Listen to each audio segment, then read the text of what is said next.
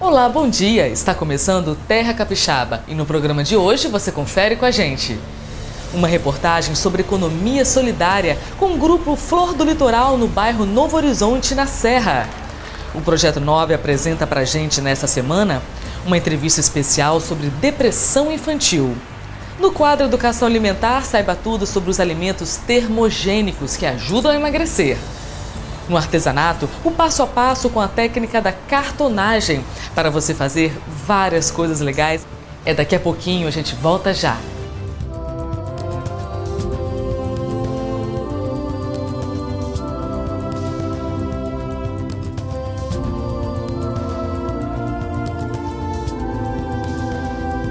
Você sabe o que é economia solidária?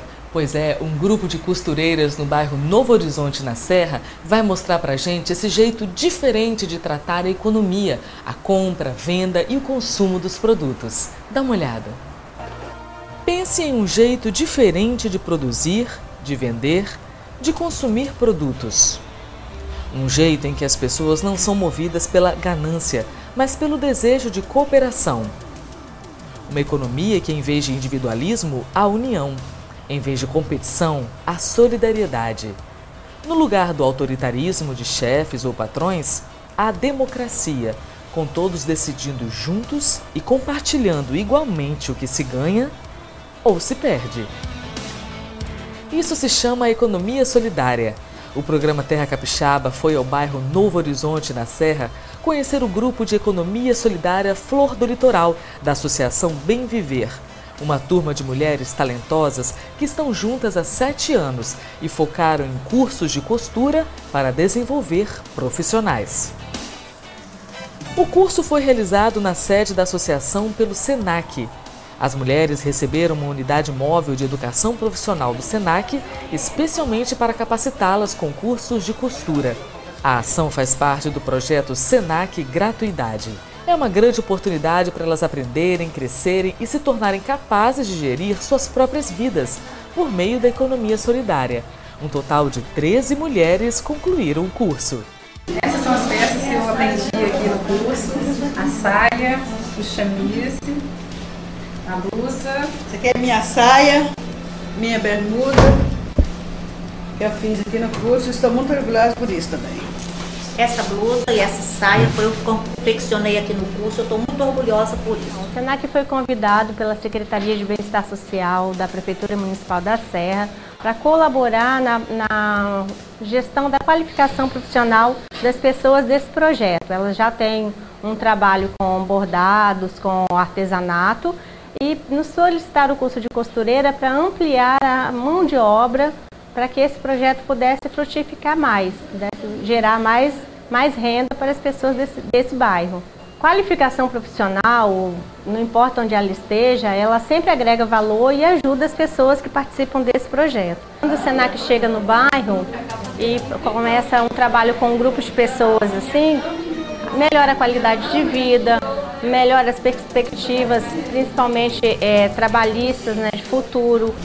Aprendi aqui no curso do SENAC um jaleque, uma saia, uma bermuda, pode estar fazendo correntinho, o meu jalequinho. Essa é a minha blusa que eu aprendi aqui no curso, estou muito feliz com o curso. Essa, esse chemise, é, esse shortinho e essa saia fui eu que confeccionei. Estou muito feliz. A economia solidária me, me, proporcionou a oportunidade de ter meus próprios maquinários. Assim eu espero que minhas colegas também tenham essa mesma perspectiva né, de crescer, que esse é o objetivo do nosso, é, do nosso grupo aqui, de todas virem crescer e ter seu próprio negócio. Com esse objetivo eu já pretendo né, me formar uma, uma pequena empresária. A crescer com certeza, crescer muito e ajudar para outras pessoas que não tiveram oportunidade. Nós começamos, nós inauguramos aqui dia 22 de novembro do ano passado e aí a ideia nossa é trazer profissionalização para o bairro, né? para as pessoas que querem é, melhorar, mudar, fazer alguma coisa diferente, melhorar a sua renda. Aí a gente abriu a inscrição, ficamos um mês com a inscrição aberta para essas mulheres.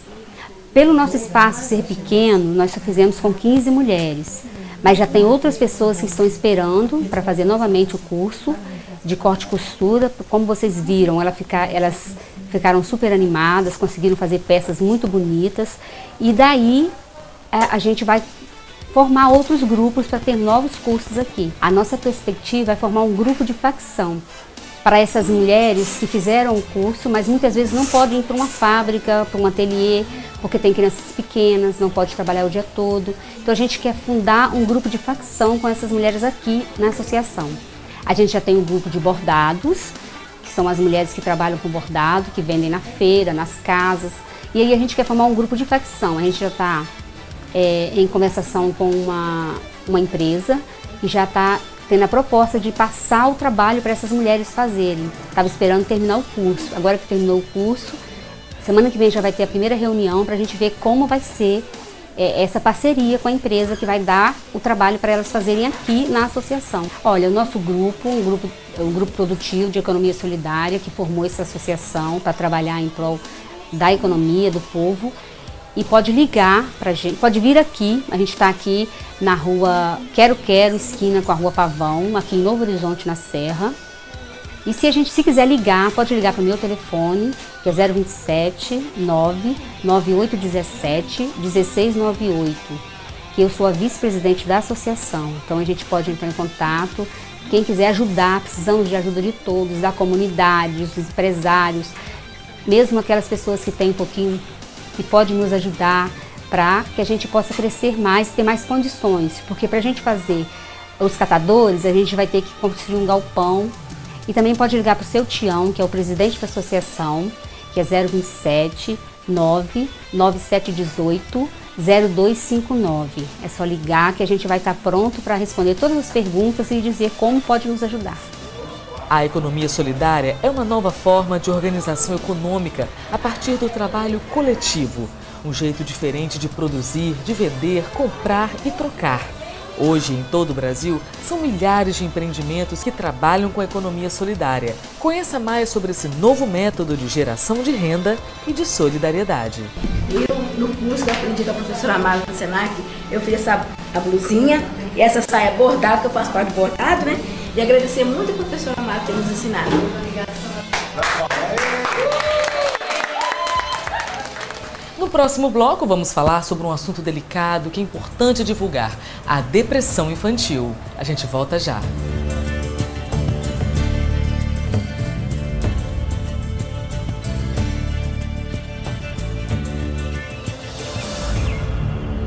Uma dupla de pedagogas em Vila Velha criou um projeto revolucionário de educação. Um projeto que ensina professores a lidar com alunos com necessidades especiais. Hoje nós vamos falar de depressão infantil. Elas vão mostrar uma música que fizeram sobre o assunto e logo depois uma entrevista com um boneco que personifica um aluno com este problema. Olha só.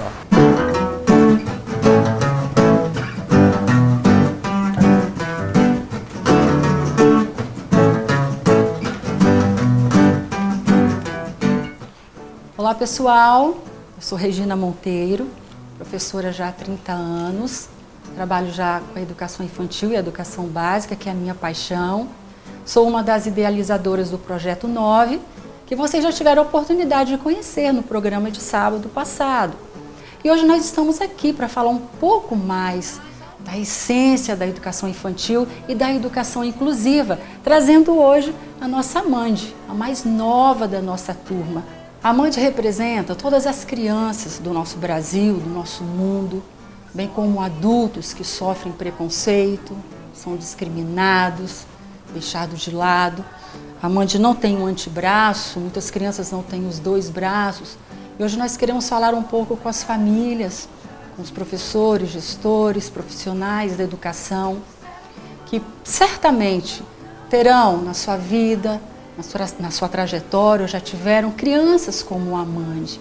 É o projeto 9, Novidade Educacional Mais Amor, ele vem exatamente com essa proposta de que essas crianças, essas pessoas devem, podem estar inseridas, incluídas nesse contexto, serem amadas, respeitadas, elogiadas, elas têm potencial. Agora estamos aqui com essa música feita para o Gabriel, para o nosso Gabriel que é tão especial para nós. O nome da música é Pequenos Gestos, composição do nosso grande amigo Jô Coelho, lá de Rio das Ostras. Aqui no violão, Amanda Monteiro, Regina Monteiro, uma das idealizadoras do Projeto 9, e a Mia Fran também no violão.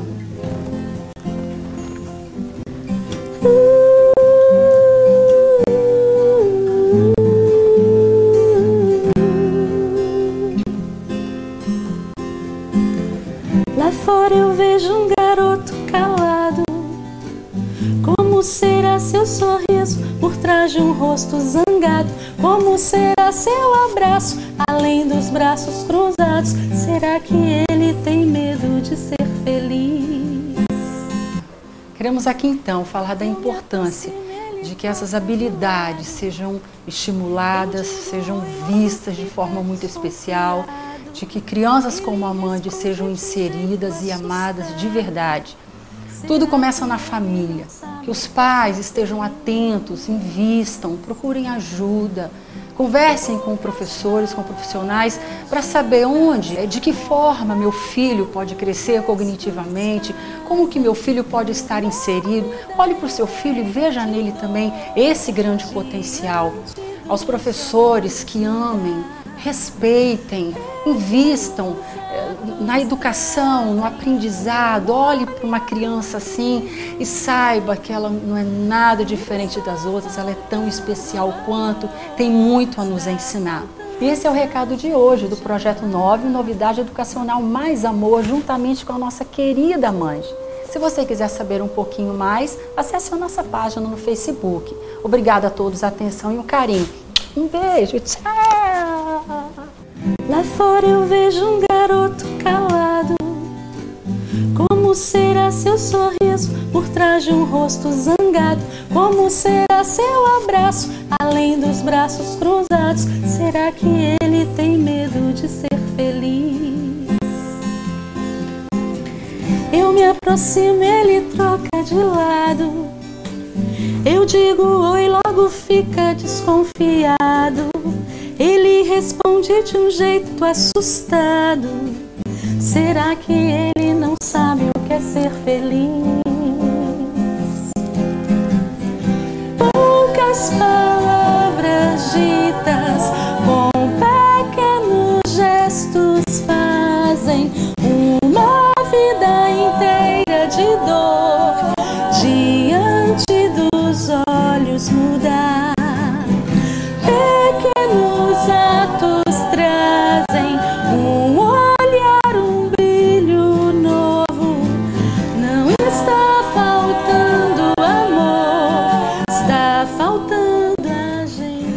próximo bloco, vamos ver um quadro interessante de nutrição e artesanato. Na nutrição, os alimentos termogênicos que ajudam a emagrecer. E no artesanato, a cartonagem. A gente volta já.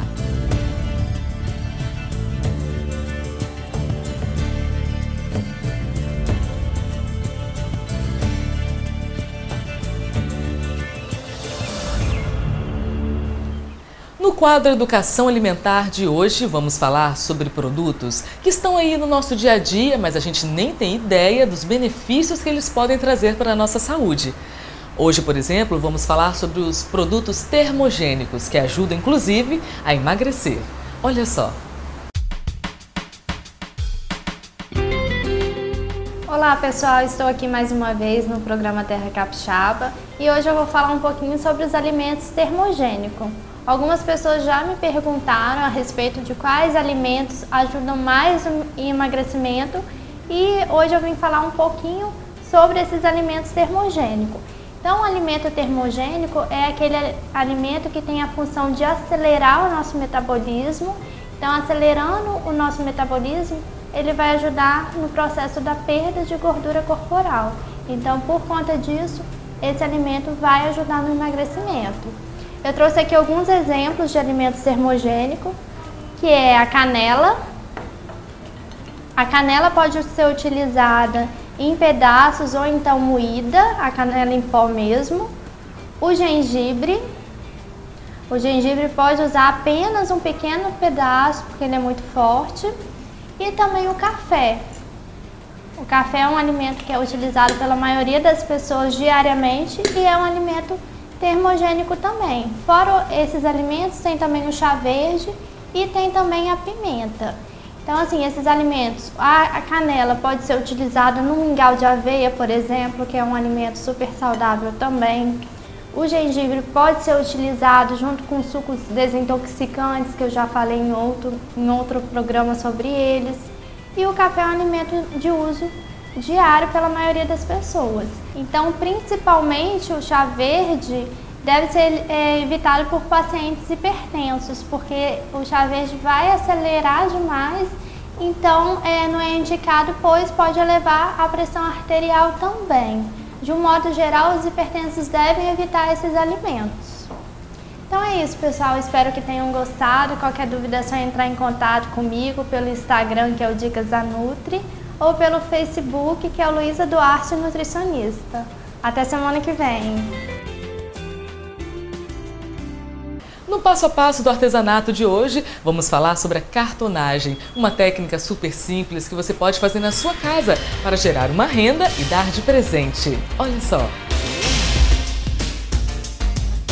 Meu nome é Claudinha Santos, sou, artes... sou moradora de Vila Velha, Coqueirão Taparica, e faço parte do artesão Capixabice.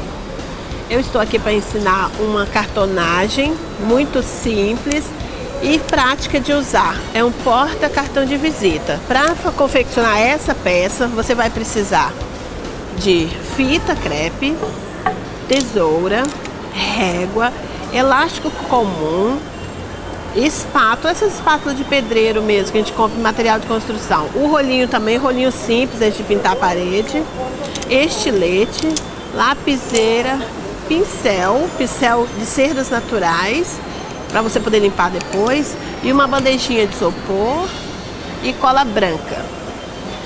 30 centímetros de tecido estampado e 30 centímetros de tecido liso. Para confeccionar a peça, nós vamos precisar de fazer esse modelo. E nós vamos usar o papel duplex, papel cartão e papel sulfite. Essa folha 4 que a gente chama, papel de xerox. Então vamos lá fazer o nosso porta-cartão de visita. Aqui você vai cortar duas peças com a medição de 7 centímetros por 11 centímetros de altura e duas peças base que são feitas no papel duplex, no papel, desculpa, Paraná, é um papel grossinho, durinho, tem uma espessura boa. Na mesma medida, todos os quatro são feitos na mesma medida. E uma capa você vai fazer no papel cartão, que é a base, a base do porta-cartão. Então vamos lá. Nós temos aqui já umas peças em andamento, não tem segredo nenhum, mas eu vou te ensinar a colar, para você saber como que se cola. Você vai, são aquelas duas partes que eu ensinei, você vai unir com um papel sulfite com 2 centímetros de largura. E vai colar lá de cá e vai colar no, no tecido liso. Para não ficar o excesso, não manchar o tecido. Vai colar uma parte, aí vem aqui com sua espátula. Aqui dentro você vem vai passar cola aqui dentro na, na calha né, que você fez, aquele primeiro passo que eu te ensinei. E vai vir com o rolinho novamente e vai alisar, espalhar a cola, para a cola ficar mais uniforme. Nós vamos cortar um centímetro, a largura do dedo mais ou menos.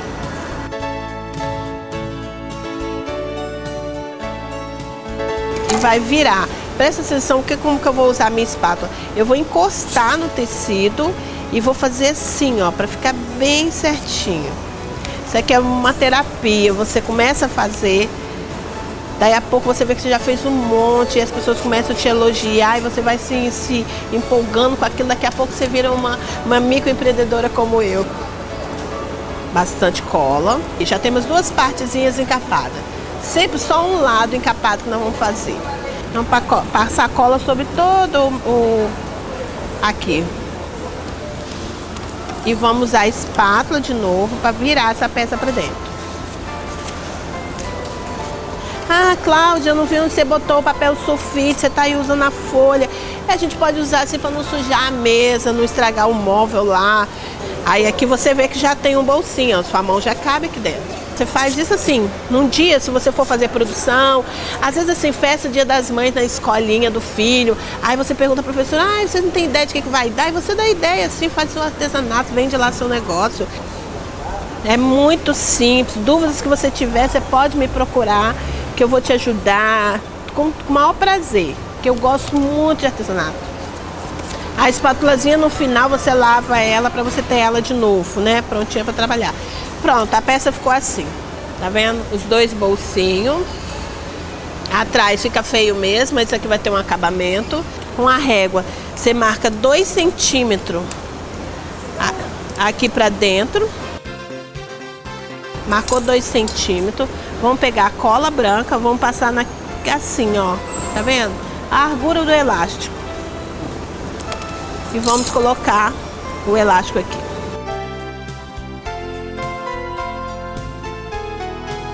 Tá vendo? Do outro lado vai ficar assim.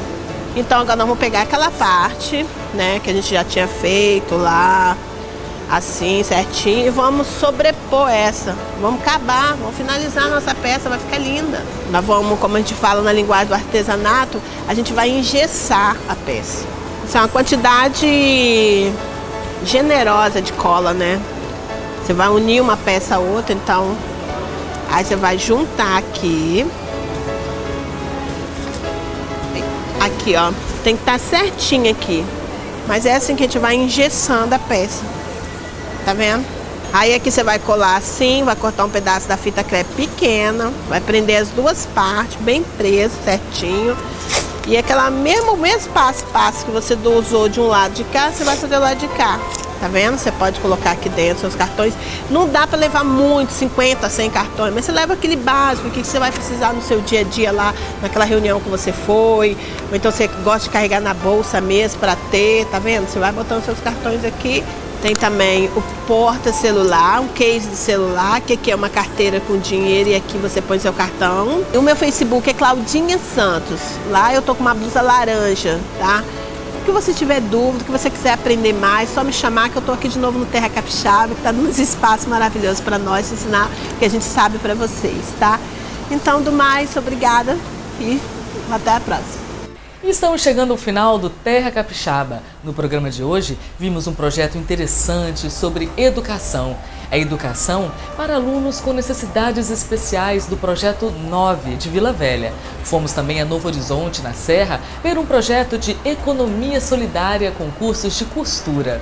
E é isso. O Terra Capixaba está aberto a sugestões de pauta sobre meio ambiente, educação e transformação social. O nosso papel é com a cidadania.